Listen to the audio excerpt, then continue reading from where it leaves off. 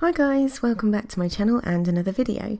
Today I'm going to show you how I painted a really cute Weimaraner dog in watercolour using just three colours and I'll be talking a bit about colour mixing and harmony and what I learned throughout the process of this painting. I've also got an announcement to make about my Etsy shop so make sure you watch till the end of the video and I hope you enjoy it. This week I'm trying out a new watercolour paint I bought which is this tube of professional watercolour paint in the shade Transparent Orange by Winsor & Newton and I'll be using it alongside two other colours from my Schmincke set of half pans, Olive Green Yellow and Payne's Grey but I'll list all of my materials in the description box along with a reference photo from Pixabay if you want to go and check them out. So let's get started. I drew out my outline sketch in pencil first onto my watercolour paper and began by mixing up the colour for the background. I only really wanted to paint in a background to help emphasise the bright highlights I could see on the top of the dog's head in my reference photo, so I thought I'd use the wet in wet technique and keep it quite loose. My aim for this piece was to keep it quite simple in terms of which colours I was going to use and try and achieve a sense of cohesion in my painting by the way I mix the colours together. So rather than just painting the olive green yellow on its own, I added in some of the Payne's grey that I was going to use for the dog's fur, which also helped to darken up the green a bit and will really help those highlight areas to stand out. I then carefully pre-wet the area around the dog with clean water and then applied my green grey mix to the wet paper, letting it bleed out and do its thing.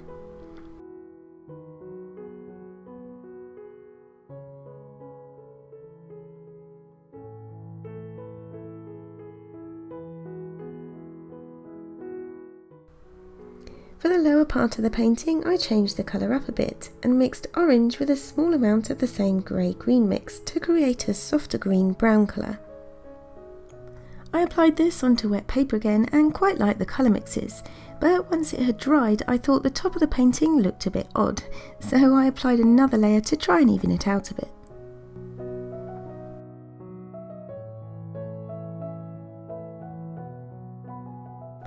So with that dry, it was time to start painting in the dog.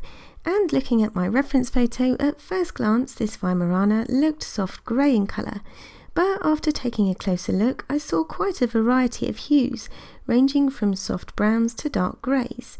So rather than adding in another colour, I experimented with mixing my transparent orange and Payne's grey together. And you can see on my palette that when mixed, these two colours make a really nice brown. I can lean this more towards grey by adding in more Payne's grey or use it more of a brown just by mixing in more orange. And I can change the value just by adding more or less water. I switched over to a smaller round brush and used more of the darker grey colour to begin painting in the eyes and some of the darkest shadow areas within the dog's fur. So while I'm doing that, let's talk about what is meant by harmony in a painting. Now I'm no expert in colour theory, but I can share with you what I understand and what I've learnt so far. But please feel free to add a comment below if this is an area where you have more understanding or practice so we can all learn more together. So put simply, harmonious colours are those that are adjacent to each other on the colour wheel. And you can use two or more adjacent colours up to around four or five to make a painting that is considered harmonious. In real terms, this means calming or nice to look at. It's not as bold, for example, as using opposite or complementary colours, but it's easy on the eye. So in my painting, for example, I'm using orange and a yellow-green, which technically aren't directly next to each other on the colour wheel, but both lean more towards yellow than they do towards blue on the opposite side of the colour wheel. Grey is kind of neutral, so can be used alongside harmonious colours without clashing or spoiling the harmonious feel to the painting. Now this is a really basic interpretation of course and colour theory is a huge area which people have written whole books on.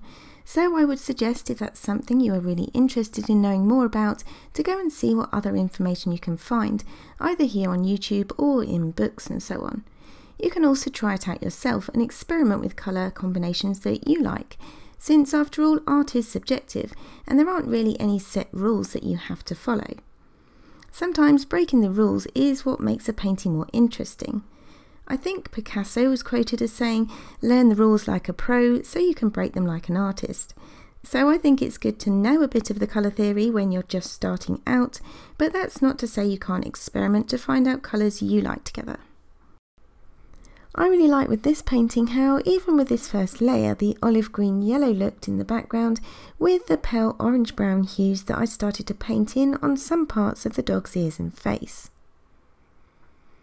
So far as the techniques I chose to use for this portrait, I used both the wet on dry and the wet in wet technique to create a mixture of soft and hard edges and add further interest to the piece.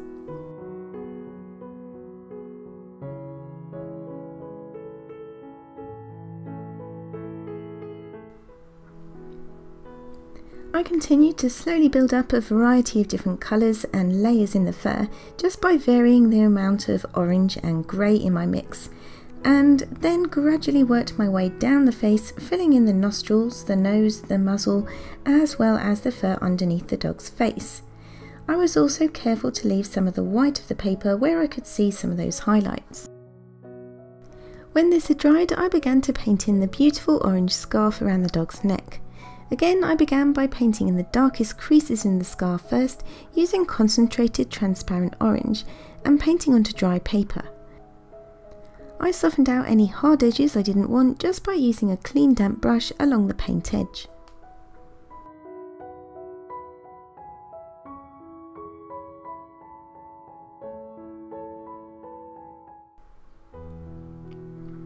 For the larger areas of the scarf I also used the wet in wet technique again and was able to softly lift out some of the highlight areas just using a clean brush that I dried off on a piece of paper towel.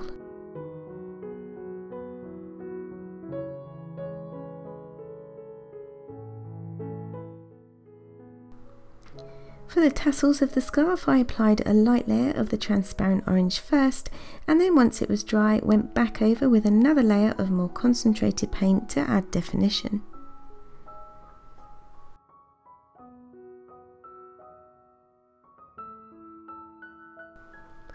Next, with the scarf completely dry, I mixed up a really dark brown for the dog's chest and applied it onto dry paper so I could carefully go around the scarf and get the depth of colour I needed here.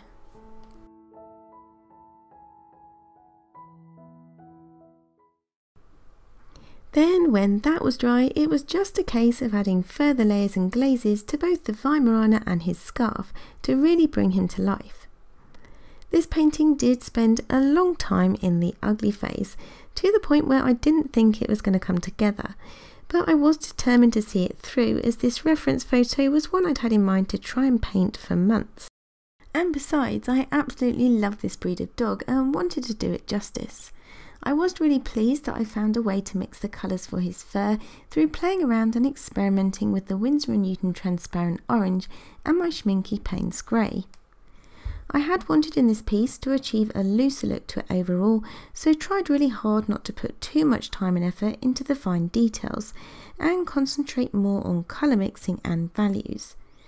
I think once my first layers were mapped out, I was able to do this. I did though still try and paint broadly in the direction of fur growth to help the fur look natural and realistic. When it came to painting the dog's eyes, I did use a bit of imagination mind, as in the reference photo they look more yellow than orange, but I didn't want to introduce another colour, so simply diluted down some of the brown mix I had left on my palette, and I think it looks okay. Right, so next it was back to the scarf to add another layer of that transparent orange.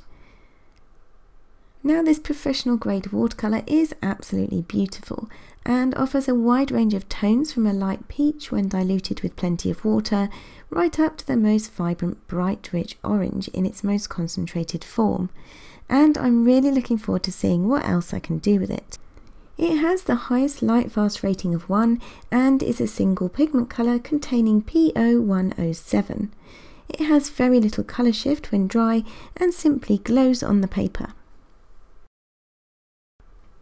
Like I did on the first layer, I applied more concentrated pigment in the folds of the scarf, but this time I also added in some grey for those really dark shadow areas.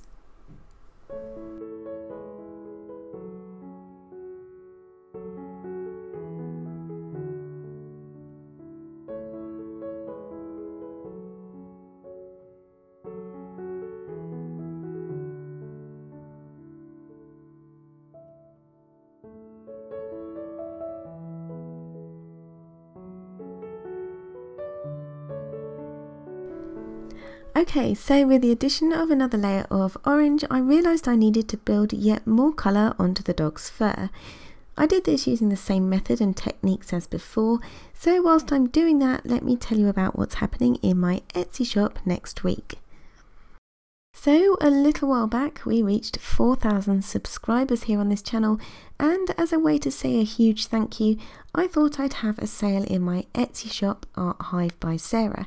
So, from Monday, the 25th of May, that's Bank Holiday Monday here in the UK, everything in my shop will have 20% off, and this offer will go on for one month. So if you're interested in buying any of my artwork, whether it be a print or an original, I'll put a link in the description box below so you can go and check it out. And again, thank you so much for all your support. I really am extremely grateful and it really does mean a lot to me.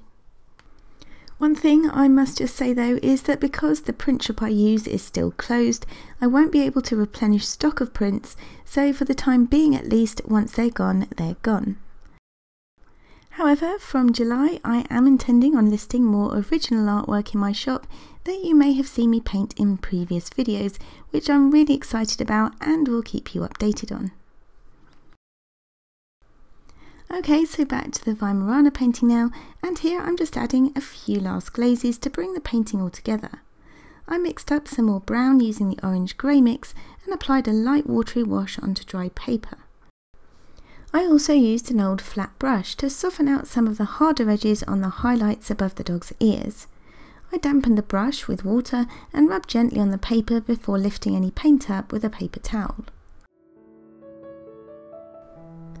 Working with just three colours today really encouraged me to learn a bit more about colour theory, colour mixing and colour harmony, and I hope you found it interesting or helpful too.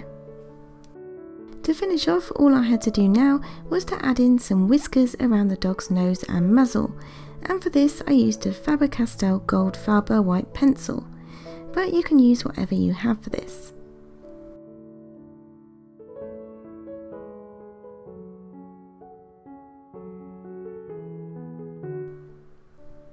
Finally, I added in some darker whiskers with my 0.7mm mechanical pencil.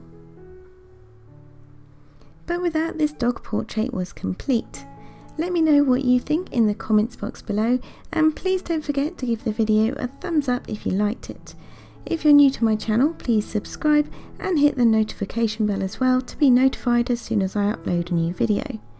Thank you all so much for watching, have a great weekend, take care and I'll see you all in the next one. Bye.